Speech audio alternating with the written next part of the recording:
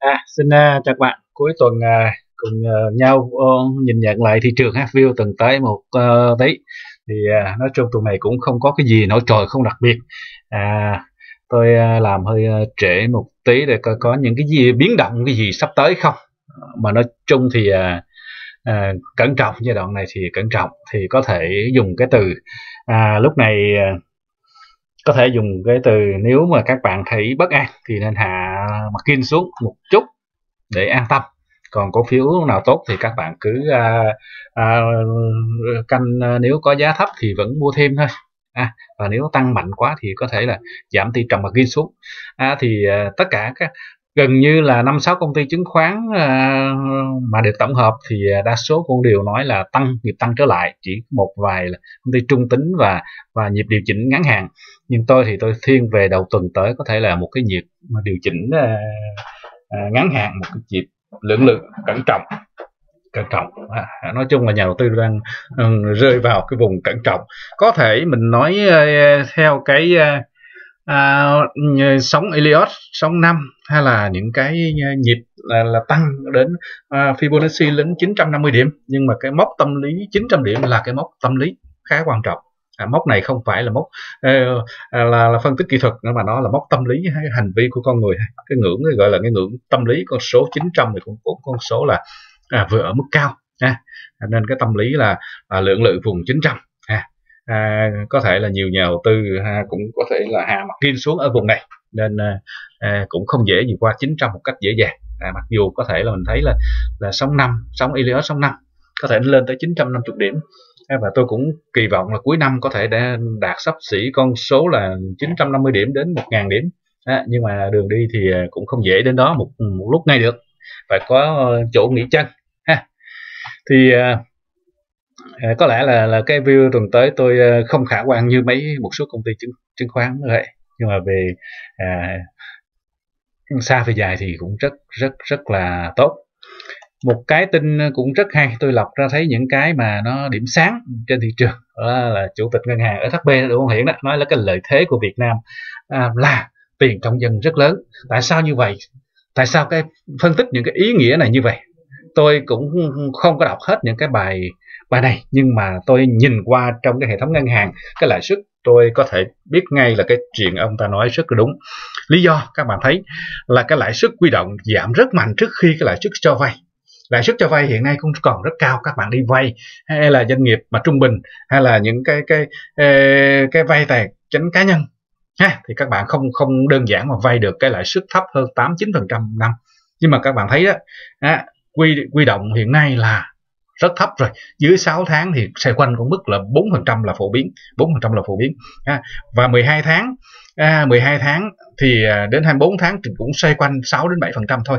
À 6 đến 6,5% là phổ biến. À, một số ngân hàng nhỏ thì ở mức ờ, có thể là chạm 7 nhưng mà ngân hàng lớn thì mức là 6,5 6,6 là phổ biến. À, như vậy thì cái quy động hiện nay nó giảm nhanh hơn giảm nhanh hơn so với cái cái cái lãi suất cho vay. À, có nghĩa là ngân hàng họ vẫn là một cái doanh nghiệp họ vẫn là một cái doanh nghiệp họ vẫn đảm bảo nguồn đầu vào đầu ra đảm bảo cái min lợi nhuận của họ. À, nhưng mà cái tiền trong dân nhiều nên cái tiền à, hiện nay chưa có những cái kênh nào đầu tư rõ ràng hết. À, nên à, họ gửi tiền vào trong à, à, ngân hàng trước à, chờ khi à, một số cái kênh đầu tư rõ ràng. Chứng khoán thì nó, nó rõ ràng nhưng mà vào đầu tư chứng khoán thì ít quá hiện nay mới chưa được 2,6 triệu tài khoản ờ, trong ờ, gần 100 triệu dân. À 2,6 triệu tài khoản. Nên cái cái cái cái đầu tư chứng khoán thì nó có điểm sáng so với những cái kênh khác. Bất động sản thì các bạn thấy ở nó giống như ngắt ngư ở vùng đỉnh. Nó giảm thì cũng không được mà tăng thì cũng không nổi. Vàng thì đang tăng nhưng mà hiện nay là gần như là nhà đầu tư cũng không dám đầu tư vàng nhiều nữa. Tỷ lệ vàng ở nay là so với 10 năm à, trước đây 15 năm trước đây thì cái đầu tư vàng nó rất giảm rất, rất nhiều rồi ha, trong trong trong dân à, như vậy thì tiền gửi ngân hàng và à, tiền đầu tư vào chứng khoán trái phiếu doanh nghiệp à, bất động sản đó là những cái kênh mà được được quan tâm. Có nghĩa là những người muốn ăn chắc mặt bền thì họ họ không có cần áp lực tiền à, dòng tiền về à, dài hạn trường vốn thì họ quăng vào bất động sản đó có thể bán không được thì họ họ nằm đó họ chờ thời à, nhưng mà những đồng tiền à, ngắn hạn những đường đồng tiền vào nhanh ra nhanh thì có lẽ là những cái kênh à, vàng chứng khoán hay là gửi tiết kiệm hay là trái phiếu doanh nghiệp. Hiện nay cái trái phiếu doanh nghiệp nổi lên một điểm rất đáng là lo ngại đó các bạn. À, từ đầu năm đến nay năm ngoái đã tăng rất mạnh rồi. À, cái cái cái tỷ lệ tăng ừ, trái phiếu doanh nghiệp rất mạnh. Và năm nay à, 6 tháng đầu năm nay theo tôi nhận được một số thông tin thì cũng tăng rất mạnh thậm chí là tăng một đến một trăm ba mươi mấy phần trăm à, à, mà phổ biến ở đây là các bạn thấy là trái phiếu ở một số cái cái cái, cái doanh nghiệp bất động sản. À, cũng dễ hiểu thôi về bất động sản bây giờ ngân hàng đã đã đã à, nó đặt những cái điều kiện cho vay cũng rất ngặt nghèo rồi không phải ai cũng doanh nghiệp nào bất động sản nào cũng dễ vay vốn vốn ngân hàng. À, và bất động sản thì các bạn biết vốn rất lớn họ cần vốn rất lớn luôn luôn thiếu vốn và họ đẩy lên cái kênh kênh trái phiếu. À, trái phiếu uh, doanh nghiệp à, thì à, cái đó là một cái mà chúng ta thấy cũng nên cẩn trọng không cẩn trọng. À, à, lãi suất có cao đấy nhưng mà à, trái phiếu doanh nghiệp nhất là những trái phiếu mà doanh nghiệp mà không có tài sản đảm bảo thì các bạn biết chỉ cần là à, doanh nghiệp phá sản thì các bạn là việc không tay trắng ha. Không có cái không có phải có bảo hiểm hay gì giống như bên bên à, gửi tiết kiệm đâu. À, thì đó là những cái cái mà tôi thấy những cái luồng tiền đang chảy vào. Thì một điểm sáng nữa là hết tháng 6 tín dụng của Vietcombank tăng 5%. Vietcombank hiện nay thì các bạn thấy là dư nợ tín dụng ờ, gần như là là dư quy động nó gần như là lớn nhất nhì trong cái hệ thống ngân hàng rồi.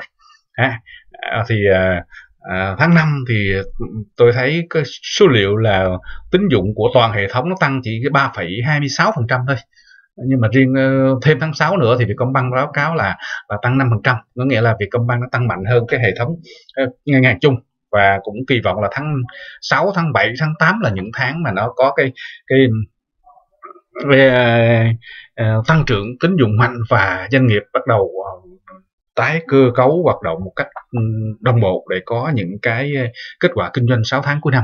À, đó là những cái điểm điểm à, sáng trong tháng 6 tháng 7 và với những cái tình hình mà tôi theo dõi cái à, diễn biến của chính phủ và một số cái chuyên gia à, họ nhận định à, họ ừ, tư vấn họ ừ, đề nghị cái doanh nghiệp họ đề nghị thì có khả năng có khả năng. Theo tôi dự đoán thì cũng có một cái đợt giảm lãi suất hoặc là những cái đợt nới lỏng tài khóa hay là những cái đợt mà kích cầu đại loại là chúng ta phải là làm sao cho GDP nó nhảy vượt lên một bậc nữa doanh nghiệp nó phải khá hơn một tí nữa trong cái dịp là cuối tháng à, tháng 7 và đầu tháng tháng 8 à, đó là cái cái cái view cái cái cái cái cái dự đoán của tôi là có những cái kiểu như vậy. Thì uh, các bạn thấy ừ, xem thử theo dõi thử. Một trong cái trong đó là có những cái, cái uh, à, thứ nhất là giảm lãi suất cho vay. À, thứ hai là à, nới rộng tài khóa hai thứ ba là à, gói kích cầu. À, ba những lĩnh vực đó thì các bạn thấy à, tôi dự đoán thì cuối tháng 7 hoặc là đầu tháng 8 sẽ một trong ba cái này sẽ có những cái mà mà nó kích thích lên cái nền kinh tế một bất nữa để cho doanh nghiệp nó phải à, sống được cái nữa vượt qua cái khó khăn một cái nữa. Chứ hiện nay thì à, vẫn còn nhiều doanh nghiệp sa thải lao động à, như à, báo chí đã đăng ở Sài Gòn à, Đà Nẵng Hà Nội một số thành phố lớn. Thì à, mình ờ, thấy tình hình nó vị vị vĩ mô nó như vậy. Nhưng một cái điểm sáng nữa là các bạn biết là ngày 1 tháng 8 1 tháng 8 năm nay 1 tháng 8 năm nay thì à, à, nó sẽ có cái hiệp định EVFTA với châu Âu là được được uh, thông suốt. Thì có lẽ là chắc à, là à, hơn ai hết bộ công thương hay một số doanh nghiệp có xuất khẩu hàng vào châu Âu giờ này đã gấp rút chạy làm ngày làm đêm để sao có những cái uh, thủ tục nó thông thoáng nhất và có những cái nguồn tài chính để đảm bảo nguồn uh, hàng chi phí truy xuất nguồn gốc. À, thì các bạn thấy là là tôi đánh giá thì à, nếu mà mọi cái nó suôn sẻ thì Ờ, đầu tháng 8 mà thông quan được những cái lô hàng đầu tiên à, với thuế suất bằng 0% thì có lẽ có những cái tác động nhất định đến cái thị trường chứng khoán trong đầu tháng tháng 8 à, ờ, có lẽ là cho sẽ ngắn hạn thôi sau một số phiên nó sẽ ảnh hưởng. À, này để cộng thêm những cái eh, kích thích tài khóa hay lãi suất hay là cái gói uh, hỗ trợ lần thứ hai gì nữa đại loại như vậy thì nó sẽ khá hơn cho thị trường chứng khoán. À, còn à, nếu mà tuần à, đây còn khoảng 3 tuần nữa sẽ đến ờ, uh, cho ờ, hết tháng 7 đầu tháng 8 thì có lẽ sẽ có những cái sự cẩn trọng và thị trường thì uh, nói như vì vĩ mô thì có thể uh, nhà đầu tư cũng cũng cũng có cái sự cẩn trọng cẩn trọng. Có lẽ đi ngang và giảm nhẹ là là à, là chủ yếu hoặc là đi lên chậm đi lên nhẹ đi lên nhẹ đi xuống nhẹ à, hoặc đi ngang cái vùng này nó không không có tác động nhiều trong cái vùng uh, coi là vùng lưỡng lự. Tại vì kết quả kinh doanh với doanh nghiệp tốt các bạn cũng thấy biết hết rồi. Không không còn kỳ vọng nhà tôi cũng không còn kỳ vọng nhiều nữa trong cuối cuối tháng 7 những doanh nghiệp tốt giờ này thì nó, nó ra sớm rồi. Còn những doanh nghiệp ra trễ thì có thể là những doanh nghiệp không khả quan lắm. Thì ờ, xem qua cái lượng giao dịch ở nhà đầu tư nước ngoài à, thì các bạn thấy là tuần đầu tháng 7 họ bán trồng ít nhưng mà tuần thứ hai thì có thể họ bán hơi nhiều. Các bạn thấy à, à, nếu mà từ một tôi so sánh từ 1 tháng 7 cho đến uh, ngày ờ, hôm nay thì họ bán ròng 432 tỷ. À, 432 tỷ. À, nhưng mà nhưng mà riêng rồi cái tuần uh, uh, thứ hai này coi á, thì là họ bán ròng là à, 560 mấy tỷ. Như vậy thì tuần đầu tháng 1 tuần đầu tháng 7 là họ mua ròng à, à, như vậy thì à, bắt đầu tuần thứ hai này nước ngoài họ bán ròng thì đó là cùng một dấu hiệu mà nhà đầu tư trong nước cũng ờ, rất cẩn trọng và chung tay chỗ này. Rồi về phân tích kỹ thuật xem qua một tí tôi mới vẽ một số cái cái thông số. Ở đây thì các bạn thấy ở trên nó dãy trên đây là tôi vẽ vn index thì nó có dãy Bollinger Band à, thì à, các bạn biết ở đây nó có màu xanh phiên ngày thứ năm là nó lên nó chạm dãy trong phiên nó chạm dãy Bollinger phía trên là khoảng 880 điểm. 880 điểm. À, thì qua ngày thứ sáu nó trùng lại liền. Có nghĩa là về, về về mặt phân tích kỹ thuật thì chạm dãy polygon trên thì ờ, một là đi cặp kè ngang đó đi à, ngang ngang đó hai là giảm xuống giảm xuống để tìm cận cái tiệm cận và được cái sự hỗ trợ của dãy giữa dãy giữa là M20 ờ, á à, thì giải giữa thì à, các bạn thấy ở đây nó khoảng 855 điểm. À, như vậy thì khả năng là sẽ dao động từ vùng 870 880 đến 855 điểm ở vùng này là đến cuối tháng 7 là chủ yếu vùng này thôi. À, thì các bạn có thấy nó chạm 880 thì có thể các bạn à, chốt lại bớt cũng cũng cũng được. À, về à, cái vùng là 855 điểm thì các bạn mua lại. À, chứ cũng không giảm sâu và để bước lên qua 900 điểm trong dòng tháng 7 này thì thấy có lẽ cũng chưa trừ khi những chính sách tài khóa à, hỗ trợ doanh nghiệp à, lãi suất có những cái biến động à, ra sớm trong tháng 7 này. À, thì đó là những về phân tích ờ, kỹ thuật mà kết hợp với à, à, yếu tố vĩ mô. Thực tế thì phân tích kỹ thuật ai cũng phân tích được nhưng mà phân tích cơ bản thì cũng có thể nhớ, nhớ rất nhiều người phân tích cơ bản được. Nhưng mà phải kết hợp được nhiều yếu tố để đưa đón ra những cái cái cái cái cái cái, cái kết quả nó chuẩn nhất thì đó mới là cái ờ, cái hiệu quả nhất. À, các bạn có phân tích kỹ thuật giỏi cách mấy mà đùng một cái cái dịch uh, covid nó bùng phát mạnh trở lại trên thế giới hay toàn cầu à, à, làm ảnh hưởng đến à, một số quốc gia hay ở nước chúng ta thì cũng à, thị trường cũng ờ, sai cũng cắm đầu xuống nha. Như vậy là chúng ta phải view toàn cảnh rồi kết hợp cái phân tích kỹ thuật. Như vậy thì vùng phân tích kỹ thuật theo Bollinger Zerbanger thì à, à, tôi thấy nó có lẽ nó dao động vùng 855 điểm đến 880 điểm.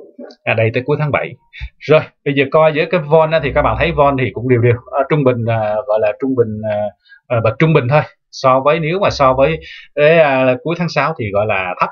À, à, đầu tháng 6 thì gọi là thấp nhưng mà so với à, các tháng trước thì nó cũng ở mức cao như vậy thì mức ở đây cũng trung bình. Von trung bình à, cũng khoảng 300 triệu cổ phiếu một ngày thì cũng trung bình. Còn các bạn thấy ở ở đây RSI uh, ờ, tóc Hatit thì nó lên cái vùng 100 thì nó vùng gọi là vùng quá mua.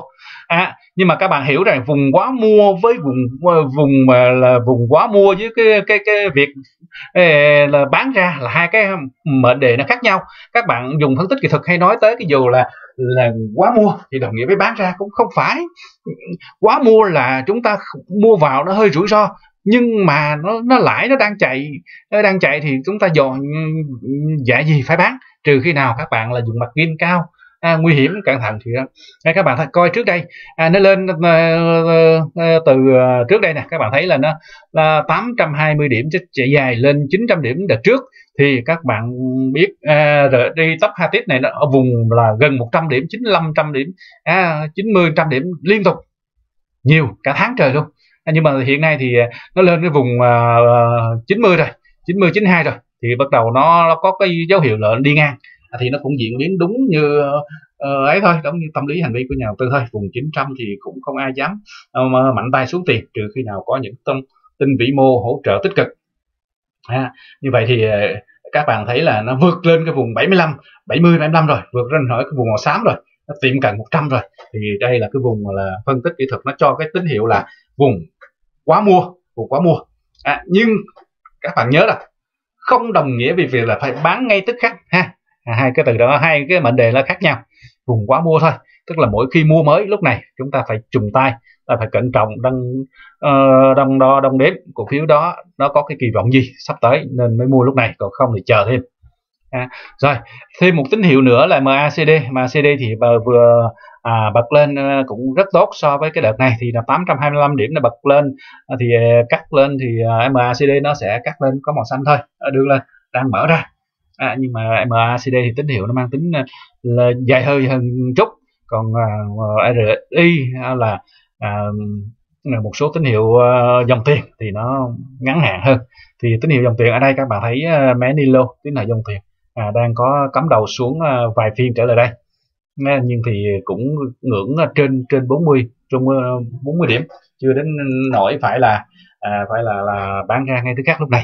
À, đó là một số tín hiệu kỹ thuật như vậy thôi rồi mọi cái thì à, à, các bạn nếu mà giữ cổ phiếu mà à, không an tâm thấy bất an thì nên hạ tỷ trọng margin xuống lúc này. À, còn nếu mà à, xác định cổ phiếu tốt à, mình trong cái uh, tỷ lệ margin chấp nhận được hoặc là chưa có margin thì à, nó điều chỉnh một vài phiên thì các bạn cứ mạnh dạng mua vào thôi cũng không không có gì. Nhất là quan trọng nhất là bạn hiểu cổ phiếu đó đến đâu. À, cổ phiếu bạn đang giữ bạn hiểu nó đến đâu. Ờ, quý này nó kinh doanh thế nào? Ờ, quý ờ, ba quý 4 sắp tới nó có tiềm năng như thế nào? Thì đó là mấu chốt của vấn đề à, trong việc quản lý cái tài khoản của các bạn. À, chứ cũng không nên chạy theo cái thị trường như thế. À, trừ khi nào các bạn giữ những cổ phiếu nó rất là à, à, hot à, giống như là là Hòa Phát Công Thương hay là một số cổ phiếu mà nữa thanh khoản là mười mấy triệu triệu cổ phiếu một ngày trên sàn thì những cổ phiếu đó chắc chắn nó sẽ đi sát với chỉ số VN Index. À, à, thì à, các bạn nên nên giảm tỷ tỷ tỷ trọng nếu mà cảm thấy bất an. Còn các bạn thấy vẫn tự tin à, vẫn là kỳ vọng thì à, chấp nhận cái khoản à, biến động nhỏ rủi ro nhất định với thị trường biến động vài ba chục điểm à, trong một cái một vài tuần tới thì có thể tiếp tục giữ cũng không không có gì hết tôi kỳ vọng đầu tháng 8 sẽ có những cái, cái câu chuyện hay trên thị trường chứng khoán và thậm chí trên một số doanh à, doanh nghiệp à, là, là, có những cái tiềm năng xin à, chân thành cảm ơn các bạn.